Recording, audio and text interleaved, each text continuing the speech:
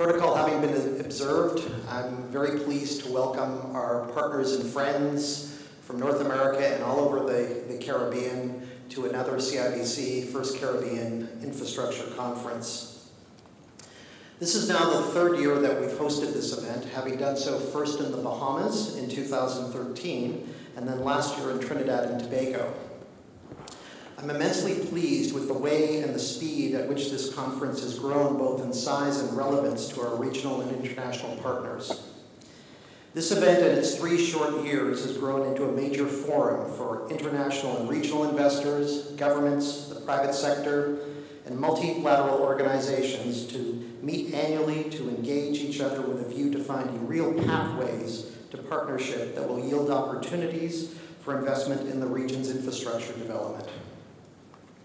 This year's conference is being held under the theme Unlocking Economic Potential, and this theme aptly fits these times.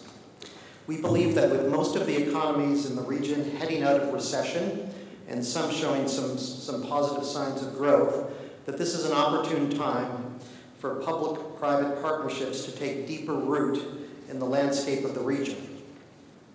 During 2014, Caribbean economic activity benefited from a more rapid expansion um, in its major trading partners. Uh, the IMF estimates that real value um, advanced in, in, in, real value increased in the advanced economies by about 1.8%, which was about a half a point uh, increase um, than, to, than in 2013. And specifically in the US, the UK and Canada, which are the primary sources of tourist arrivals and foreign direct investment, uh, these three countries led the way with much higher than average growth. Further, the recent declines in global oil prices has limited increases um, to inflation in the Caribbean, and any reducing resulting reduction in consumer prices bodes well for overall consumption levels in the, in the, in the, uh, in the Caribbean region. As a result, overall economic activity in 2014 in the Caribbean was buoyed by stronger demand for tourism services and a rebound in foreign direct investment. And uh, the available estimates show that of CIBC First Caribbean International Bank's 17 markets, only the economies of St. Lucia and St. Vincent actually contracted during 2014. And in the 16 tourism-dependent economies that we operate in, Stayover arrivals increased 7%, ranging from a small 1% decline in St. Vincent to a whopping 50% increase in the Turks and Caicos Islands. Construction activity and future tourism prospects continue to benefit from increased high-end tourism activity in major tourism-dependent markets such as Anguilla, the Bahamas, Barbados, and St. Kitts and Nevis. We at CIBC First Caribbean believe that infrastructure development and renewal in the Caribbean will be a catalyst for economic recovery and sustainable growth, and this has already started to take shape. IMF projections suggest positive economic growth for all Caribbean markets this year, and they are expected to gain further momentum in 2016. In short, the shadow of recession, which has spread over this region since about 2008, is finally receding. However, many regional governments with their still relatively fragile economies and stretched budgets cannot undertake major capital works projects alone. The tourism infrastructure in many territories, such as hotel plants, airports, and cruise terminals, are in desperate need of renewal or rebuilding. Deteriorated road networks need to be repaired or replaced. And um, unfortunately, I've experienced that firsthand in Barbados.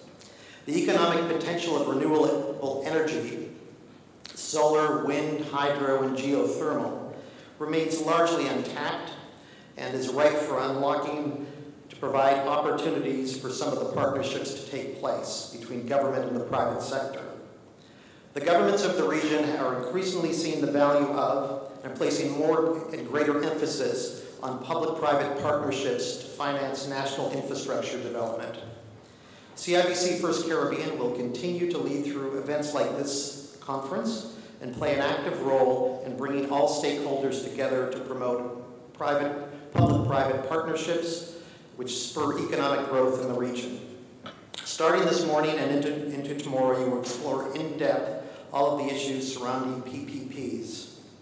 We've assembled a group of experts who will make presentations and lead discussions such as the types of regional projects that continue to attra- attract international investment, techniques to increase, increase the credit rating of projects in the region, holistic approaches to airport and cruise port de- redevelopment, the rollout of key tourism development projects via public-private partnerships, harnessing efficiencies to upgrade water utility infrastructure, as well as the impact of renewable energy on the uh, Caribbean energy mix.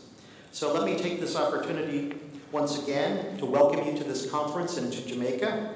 I met some of you last night, and I hope, look forward to uh, meeting more of you during the next two days. And on behalf of the, our excellent team at CIBC First Caribbean and our parent CIBC, I wish you the very best for a successful conference. Thank you.